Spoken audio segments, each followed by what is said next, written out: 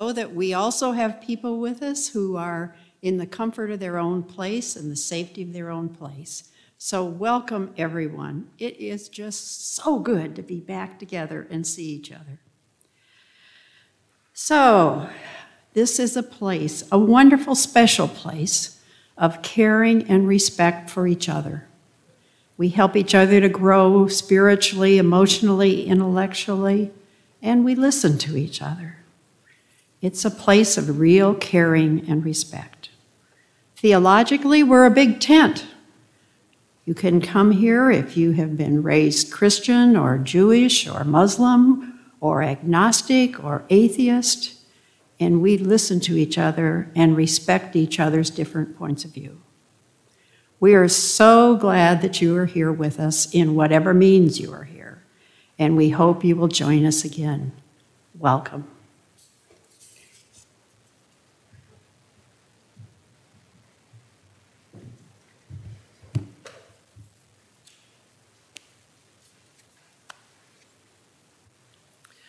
Welcome to worship.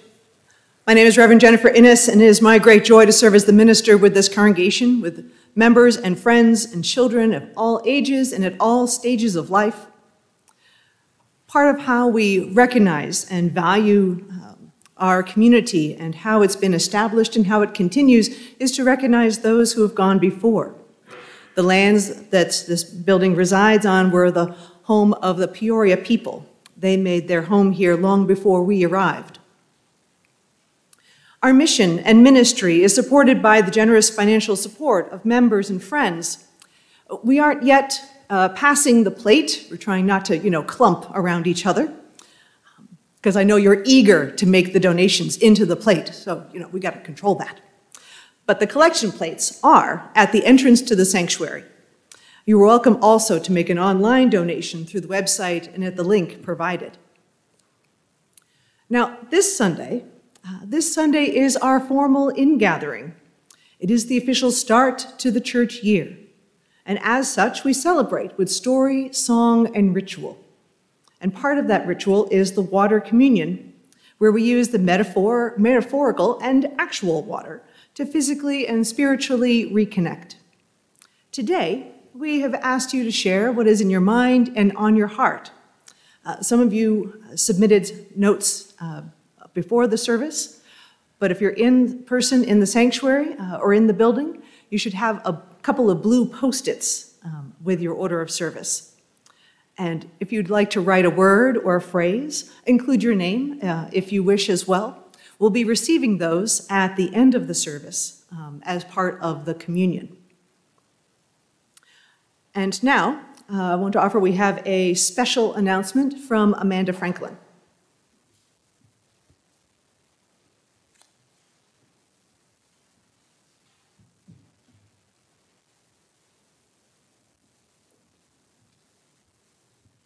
Hi, good morning. Most of you know me. My name is Amanda Franklin. Um, and this morning I'm here to talk to you about covenant circles. Uh, as you know, I, or as you may have heard, um, I've been a member of the church for about seven years, and it wasn't until a couple of years after we joined that I joined a covenant circle. Um, and it was there that I really made connections with people that I probably would have never made anywhere else um, through our church, and I felt like this was home. It was through those covenant circles. And if you've ever heard me talk about covenant circles, you know that I say that. But really, in the last year, those covenant circles, my covenant circle, has become something more. Um, I never thought I would be a stay at home mom who was homeschooling with this full time job. Um, and while we made the best of it, it was still so nice to have that safe place to go to, whether it was in the basement or in my um, craft room with the door shut, and staring at the faces of my friends, my church friends, um, twice a month. Sometimes we did it more. Uh, but it was wonderful to have those connections. We looked different, but it felt the same. Um, we were able to talk about the hard parts and the easy parts and the fun and the new silver linings that we were trying to find. Um, we utilized Zoom, as we all had to, but we were able to share pictures of our first cars um, and do some really fun things that I don't think we could have ever done if we were in person. This year, we hope to have a parents group um, it will be 100% virtual. It will be in the late evening, hopefully after bedtimes or as kids are winding down on their own. Um, so hopefully we'll have enough interest for a Parents Covenant Circle. It connects you to those who are like-minded, that are members of our church, friends of our church, in a way that I don't think any of our other activities can. Um, it's opening season, opening season, Jiminy. um, Signups are open right now. There are forms out front. There was a, a form attached in the builder. Um, Joyce Rosenberger is the head of small group ministry, uh, so please see her if you have any questions. I'm more than happy to answer any questions you might have about joining a covenant circle, what it means, or the parents group that we hope to start this year. Um, so I hope that you will take some time to consider, even if it's by Zoom, the importance of that connection and what covenant circles and small group ministry can do for you as we transition to whatever is next as we go through this. So thank you.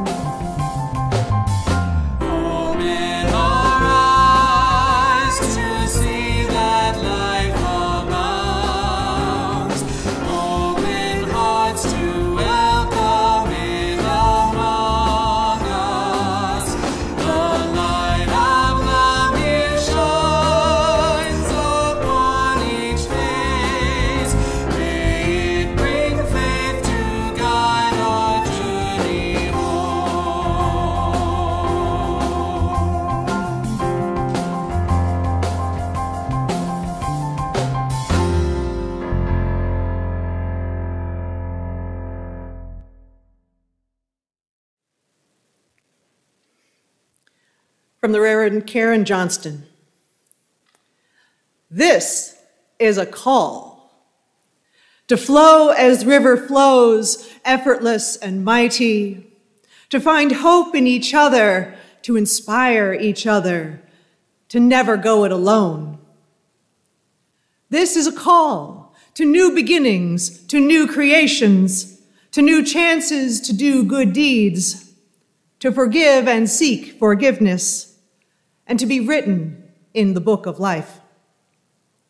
This is a call to offer solace when it is needed, and where and when to find joy whenever it offers itself up in the now of every moment. This is a call to find your heart's most precious intention, letting it have its wild way with you. This is a call to come back, to come home, to come to your senses, to come to yourself to come to your whole and holy self. This is a call for body and soul, for each and every to be healed by flowing waters, by mighty waters, by sacred waters that show us the way. Come, let us worship together.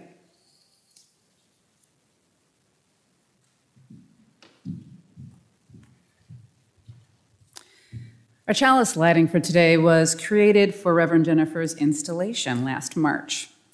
Peoria UU member Cinda Thompson drew from our mission and covenant when she created it. It is called A New Faith Rising. Our chalice curves, catches the spark, and bursts into a flame beckoning across space and through darkness to light a way for each seeker on a journey unfolding into pain and into beauty. Reach forward, clasp open hands, form a circle, celebrate our infinite forms and spirits. Join our beloved community. Kindle the courage needed to create real change. Come, help heal the world.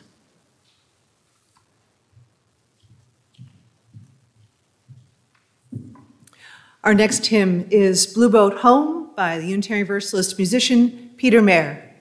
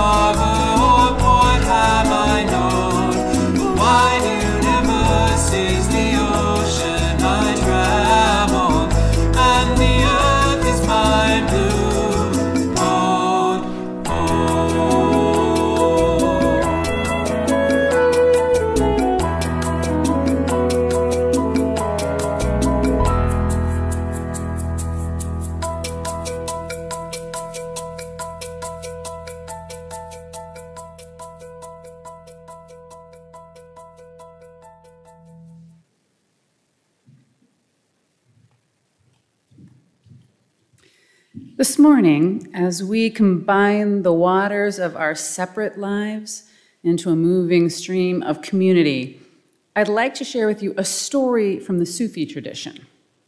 It's called The Little Stream Called to the Sea, and it goes like this. Once there was a little stream that dreamed of flowing to the sea. The stream started in an aquifer a huge pool of water underground. But the call of the ocean was so strong that the stream pushed its way through nooks and cracks up through the earth until it burst forth into the air and began a journey toward the sea. As its waters bubbled to the surface, they ran down a hill, carving the stream bed into the earth. Sometimes the stream babbled as it traveled, sometimes it gurgled, sometimes it roared. At times, the stream traveled alone. Its waters were so clear, you could see the pebbles that lined its bed. At other times, the stream ran through great lakes or tumbled over a cliff or joined other streams to form a river, and then split again to travel alone. But always, Always the little stream yearned to flow to the sea. Sometimes the stream would run fast and deep, eager to reach the sea. Fish swam in its waters and it carried them swiftly on its journey. Sometimes the stream would grow wide and slow, and it would carry boats on its back as it continued its journey. But always, always, the little stream yearned to flow to the sea. One day, just as the call of the ocean seemed to grow a bit stronger, the stream found itself growing sluggish. Its waters grew thick with mud until sadly it pooled into a brackish mud hole right on the edge of a desert. Woe is me, thought the little stream. How will I ever get to the sea? It tried going around the desert, but the desert was too wide. It tried going under the desert, but the desert was too deep. Still, the little stream heard the call of the ocean and yearned to flow to the sea. Now, after what seemed like a very long time, as the stream just pooled there in the sun, it began to hear a second voice I can take you to the sea, little stream whispered the wind. Come with me. I'll carry you to the ocean shore. How could you do that? scoffed the stream. You're only made of air.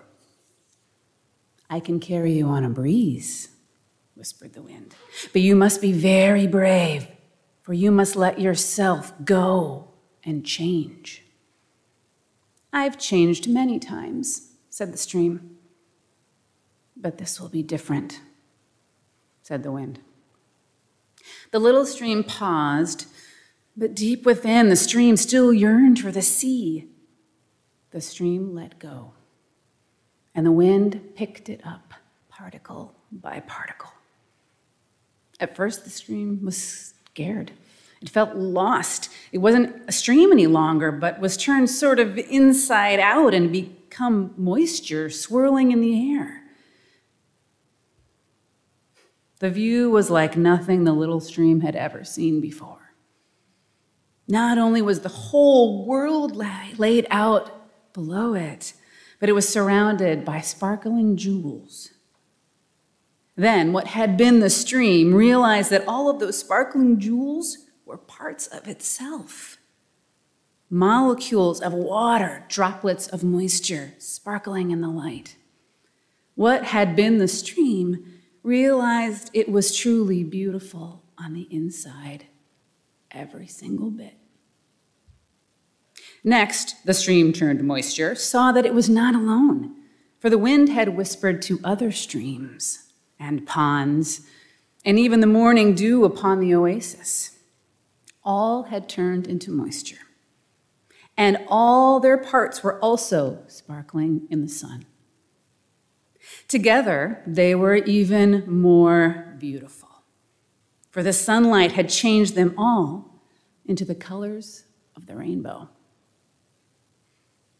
Then the little stream turned rainbow, felt itself falling and falling and falling.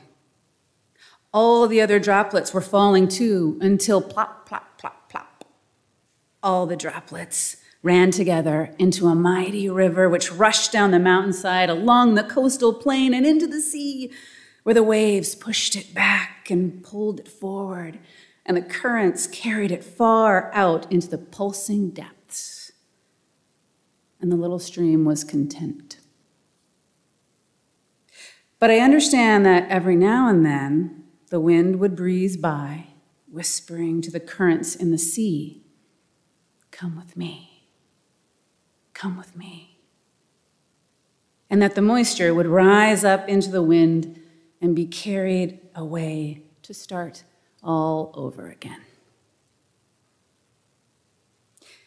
Just like the little stream, if we trust in each other and in ourselves and help carry each other, we'll reach the other side of the desert, wiser, stronger, and more whole, both as individuals and a community, and always flowing forward to new beginnings. So be it.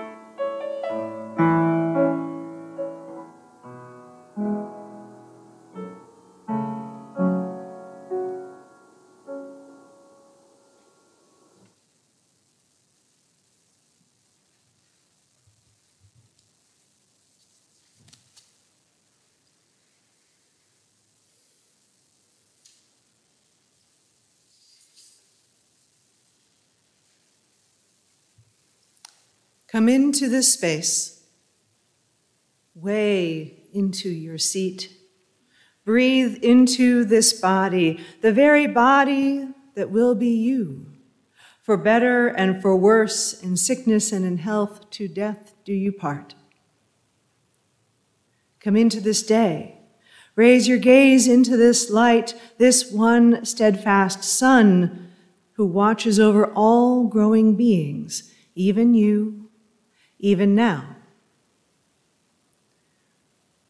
Come into this heart and break into the boundlessness of wild beauty, no beginning or ending in you, but flowing through like white water, reaching toward all that ever was and ever shall be. This is the time for sharing the joys and sorrows that are among us. And this week, we offer good wishes to Catherine Burton. Uh, she continues to recover from surgery, but she also uh, searches for suitable lodging in order to spend six months in Mexico and six months in central Illinois. We offer our good wishes as she pursues this search. I know there are far more joys and sorrows, names and milestones that are among us than, than we can possibly cover within the space of a single hour, a single moment. But let us honor that, all that is in within us. Let us take one more moment for all that lives in our hearts, for all that remains unspoken. Let us take one more moment in silence.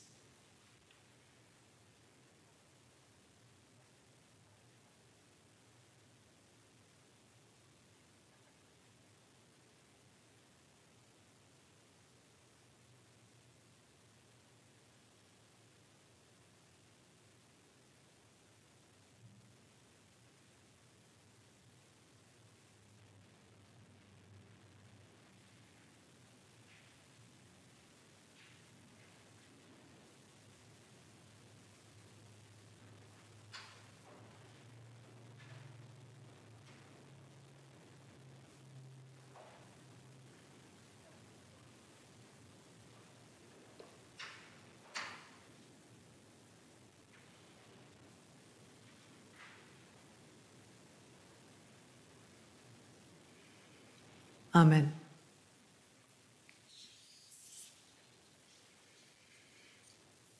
I invite you into a time of reflection. The prayer I want to offer comes to us from the Reverend Jude Geiger um, from our sibling congregation in Huntington, New York.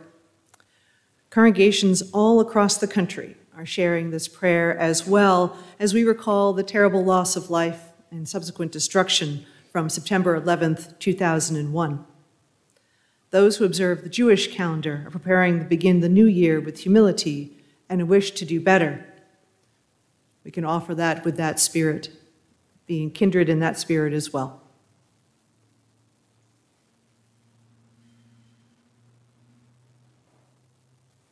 Spirit of life, God of many names, source of love, help us to enter the new year with a spirit of renewal.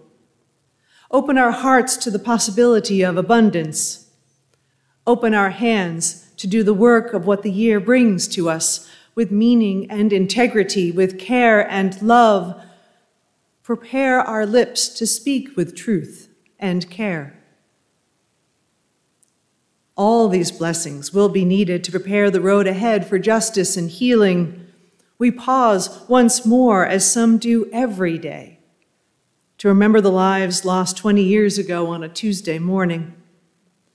We mourn the friends we can no longer greet. We hold in our hearts the families that are missing a, a parent or a sister, a son. We acknowledge that a new generation has seen its innocence of worldly anguish pass away. Knowing that each of us must wrestle with memory and loss in our own ways, we pray for the strength of heart to face these difficulties with integrity.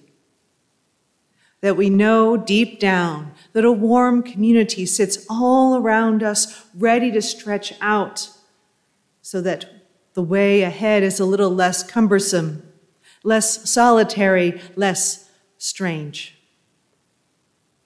May our memory and our grief alter, not alter our prayerful convictions for a world of hope and love. And may the harm done that fateful day not deter our spirits one inch from a path of building the world we dream about. May we not learn to become creatures of reaction, recreating harm in the world around us for the harm done in our cities and in our plains. This morning, we keep close to our hearts the families and friends we once knew. We rejoice in those stories where a caregiver, a sibling, a child arrived home late at night to a welcoming, grateful family. We also rejoice for the congregations spread throughout the country who have learned to break bread and share in worship across religious aisles, who appreciate the shared messages of love and healing that are taught by Christians, by Jews, and by Muslims, and by religions in the world throughout. It is in this spirit that the world may know peace. Shalom, Salam, and Amen.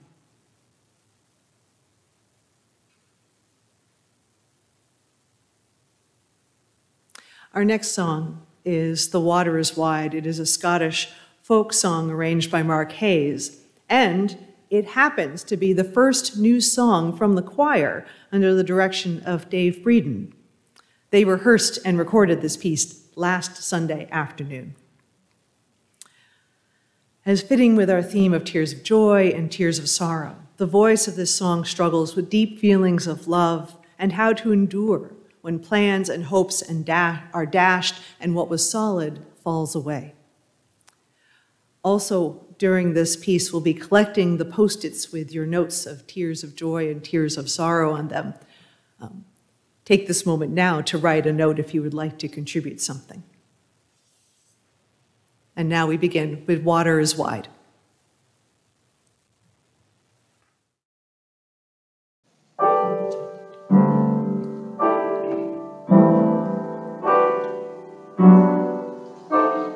Water is wide, I cannot cross over. Neither have I the wings to fly. With three arms I can carry two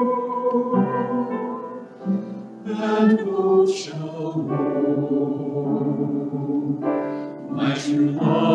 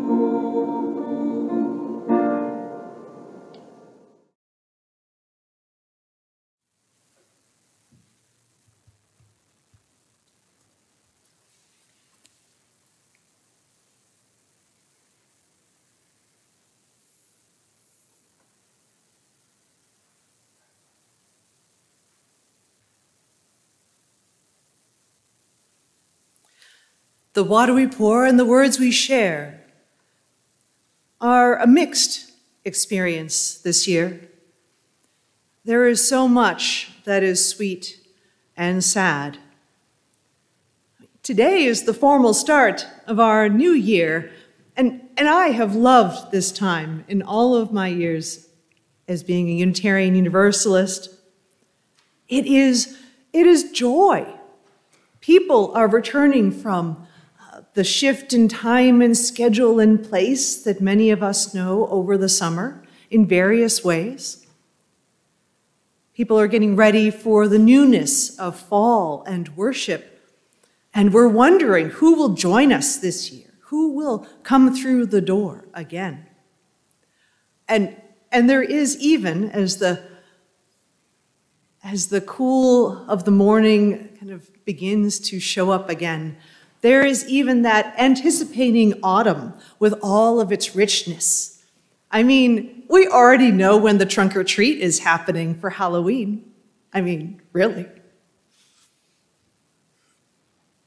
One season is accomplished and a new one can unfold, and we greet this moment with story, with song, with in gathering. And this year is mixed. The images around water are truly complicated and complex in this moment. We have so many storms and flooding, so much flooding in recent weeks that for some of our beloved and certainly our friends and neighbors and other people in the country is it's reigniting previous trauma for those along the Gulf and in the Atlantic. I recently took note uh, that in Houston, for example, they have a chart, they have kind of a flooding severity chart numbered uh, in kind of oranges and reds and so on.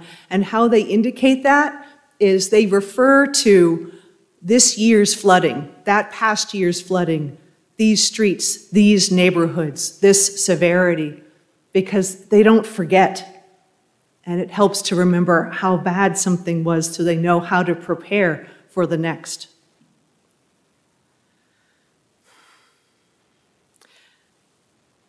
There's also so much grief, and I will say shame, at what we have done to the earth and the climate that is reacting in ways that are more water and less water all over the place.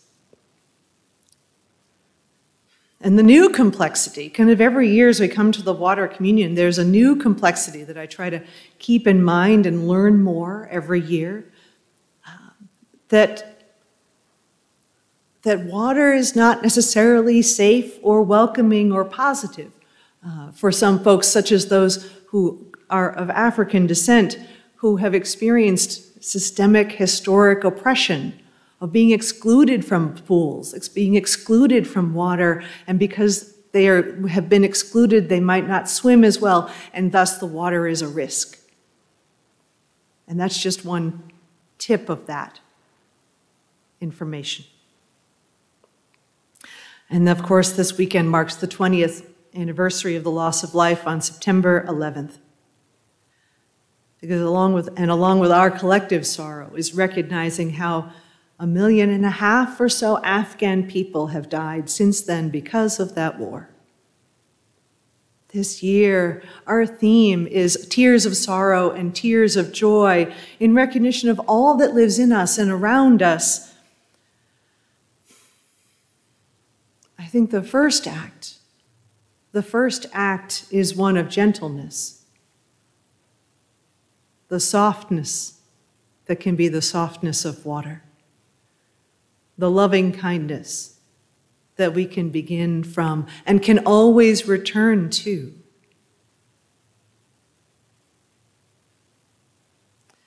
The loving kindness that we can offer ourselves and offer to the tended, tender, wounded state of our minds and bodies and hearts, that we can also offer as a base of where to move in the world, offer to our neighbors and to the world as well.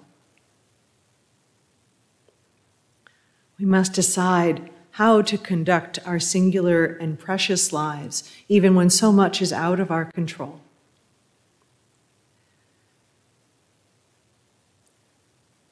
And every year, I, I, wonder if I need to tell this short bit of the history where the water communion comes from. And every year, there seems to be another reason to do so. So let me offer where this comes from. That the origin of the water communion is a story itself of finding strength in complicated places. Over 40 years ago, in 1980, Unitarian Universalist women came together at the Women in Religion Conference in Michigan, and they wanted to have a voice when women who were so long being kept from being accepted as leaders in our own churches. They sought to create a ritual where all could contribute, and the participants brought water to that gathering from every corner of the country. It was as a symbol of life within each of us, no matter our gender, our age, our color, our orientation, our ability, our disability, all could come and bring. And the women left that conference and brought back that ritual of the water ceremony to the congregations at their homes. And not only did they return with that water, they also came back with a deeper charge to Unitarian Universalism to include all women and female perspectives in our understanding of Scripture and who can lead the church. I'm still kind of sitting here like this is in my lifetime that this was a question and a need.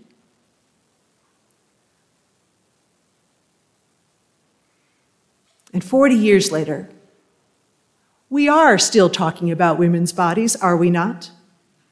Amen? And so clearly we needed to have told that story again.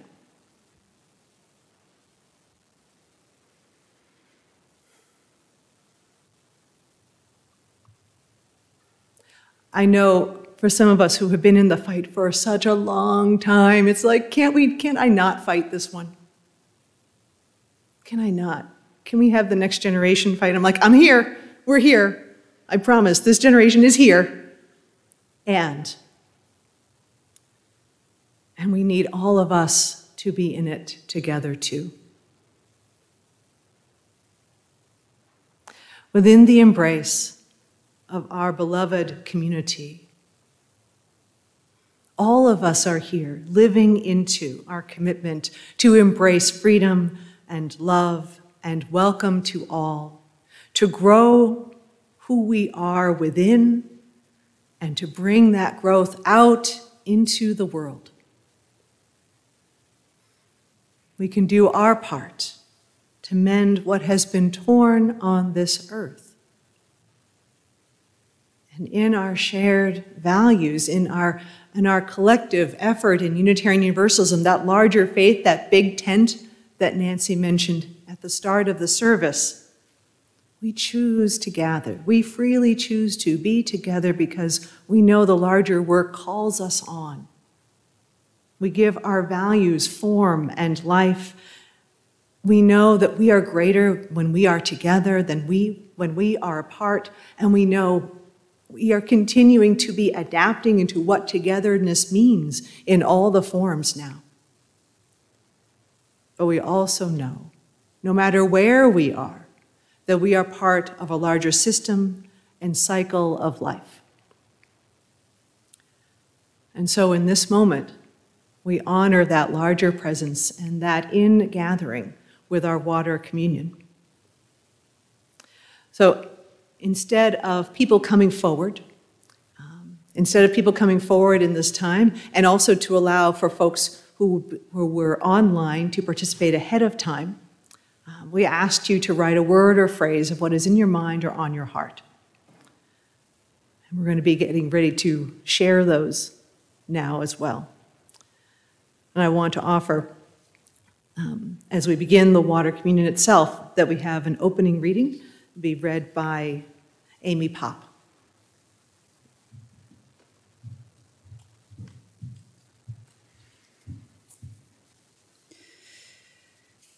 Water makes its mark. A glass of tea sweats a circle of droplets on an old table. Drying, they pull dirt and stain from the wood, leaving a ring. Water makes its mark. Deep in the earth, in a cave, a drop falls each minute. Where it lands, a great pillar of white rock has grown up. Water makes its mark. On the surface above, a stream burbles and flows, carving out potholes in the granite of its bed. Water makes its mark. Along a highway cut, a geologist points out the layers of tan slate, each penny thin sheet, the memory of a torrential rainstorm eons ago. Water makes its mark. In its network of veins, the blood, salty like the seawater from which we sprung, flows on in cycles, giving life. Water makes its mark. The dark clouds pass on, yielding no rain. Crops wither, and drought comes. Famine, migration, violence, and death soon follow water makes its mark. A space probe turns its camera toward whence it came, imaging one solitary pixel of light, its color the pale blue of oceans. Water makes its mark. A solitary tear slides down the cheek, a tear of abiding joy a tear of unending grief. We see and share the depth of feeling at its true core. Water makes its mark.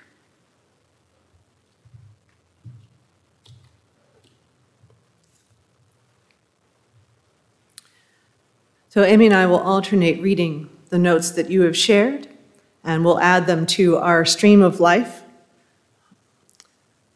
leading down into our common bowl, and we'll be pouring, um, adding them into our common bowl through water every, um, after everyone is read. And I'll begin with the, one, the notes that were sent to us before the service. From Carol Manny, I will get my life back this year. I can't control how another person sees me Vision can be clouded by so many other things. I will stop trying to convince. I know who I am and I will be myself. It's the only thing you can control. Next, we have a message from Mary Mulholland Kafar, who says, The water reminds me of cleansing of the body and soul. Next is from Lovina Farden. And she says, It is sweet to know love and pain and hope. The beauty life has to offer, life forgives. Like the rivers, it will bend and find a new path. And from Terry and Tom Malone, that water represents cherished time on Lake Michigan with our children and grandchildren life giving water that makes all things grow in gardens, forests, and swelling seas. Tears of sadness as our country remains largely divided, distrustful, and contentious. Those are the ones who were sent ahead.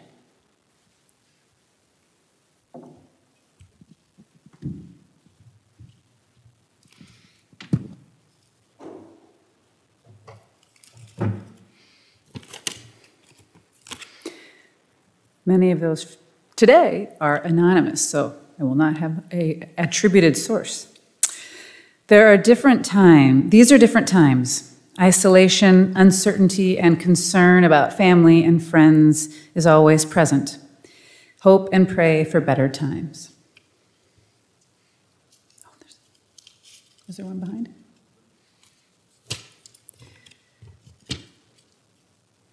More of our family is vaccinated from Jay.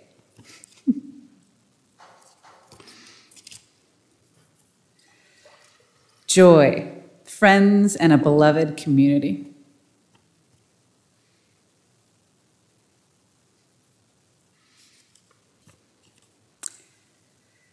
I'm thankful for the chance to find truth in all stories with, all, with my church.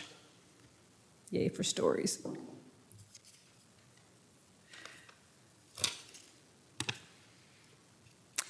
Tears of joy for family gatherings and loved ones.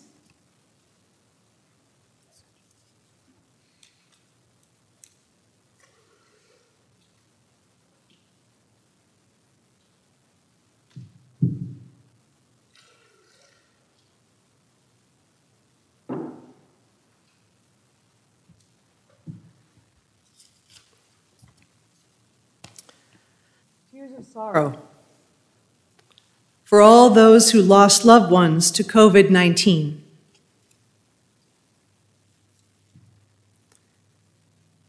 It feels right to be here.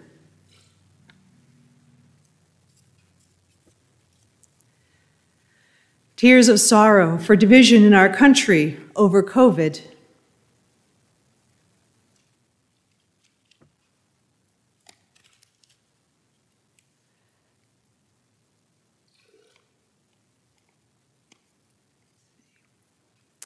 Joy, the of love.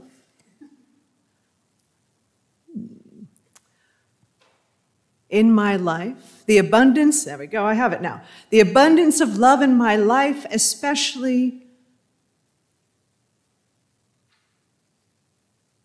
Hmm.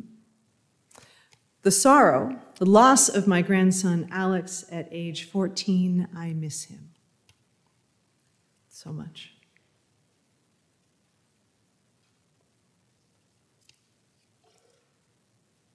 Joy, the beauty of nature, reconnecting with brothers, new friends. It's from Rebecca Byron.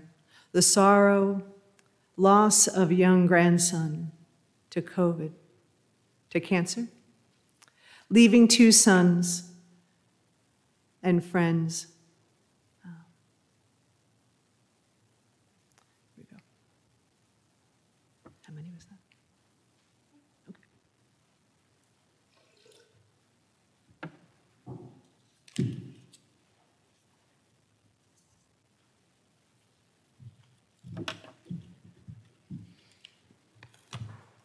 From Donna Dickey It is good to be back inside and see old friends. This is representing water from the Lake of the Ozarks.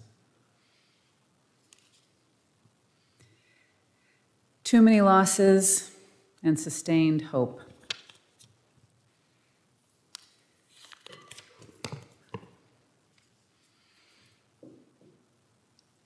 Joy, gratitude for water which quenches thirst which cleanses.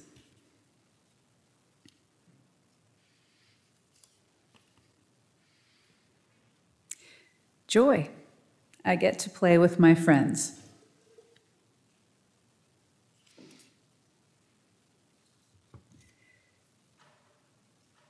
And joy for family gatherings.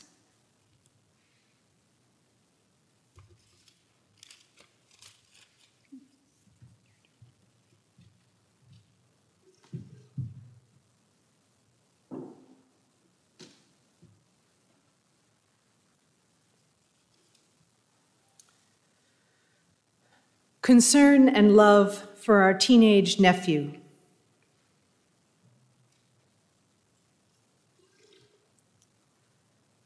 The music of the lapping waves feeds my soul.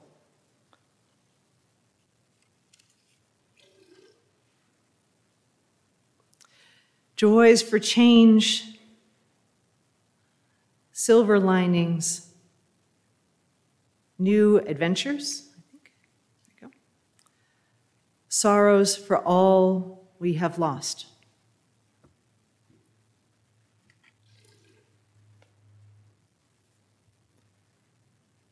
From Phyllis Close, from my water, for my water, from my water barrel bought at the UU rummage sale for $10.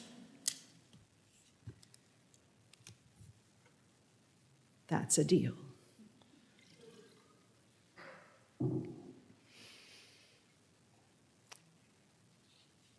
And I want to offer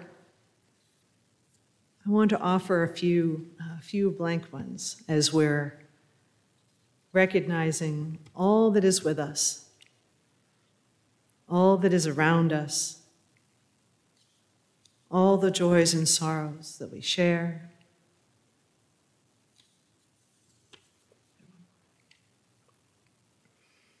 That there is space for more that flows into the body of life. This is simply the beginning of this year. And if you'd like to add more, there we'll be bringing this out to the patio. Um, and there are more sticky notes. The ribbons will be out there, and you can add your own further along as well. And then we'll pour the water from our common bowl into, into the land, return it to the cycles of the earth and sky um, after we, people have had a chance to fill them out during coffee hour. But now, I want to offer a blessing on all that has been gathered, on all that has been received. May the waters and the words gathered here remind us of what each of us brings to this community, the waters that have nourished us before we were even born, continue to give us sustenance and life for our journeys. The words, the messages that are spoken in mind and heart from one to another, from one to many. These too give us sustenance and energy for the journey. We are so blessed. We are so receiving of the gift of life in this moment, along with all the creatures of the earth, along with all that is. May we gratefully continue to be in this flow of life and to swim to the other side. Our closing hymn is from our excellent choir, is created for my installation. So let us hear the closing hymn, Life Calls Us On.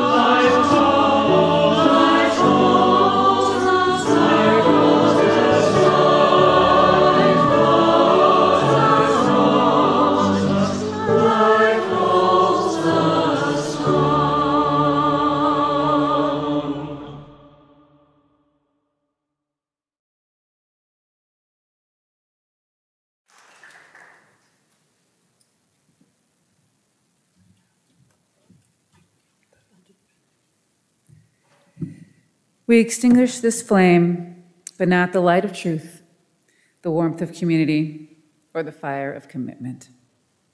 These we carry in our hearts until we are together again.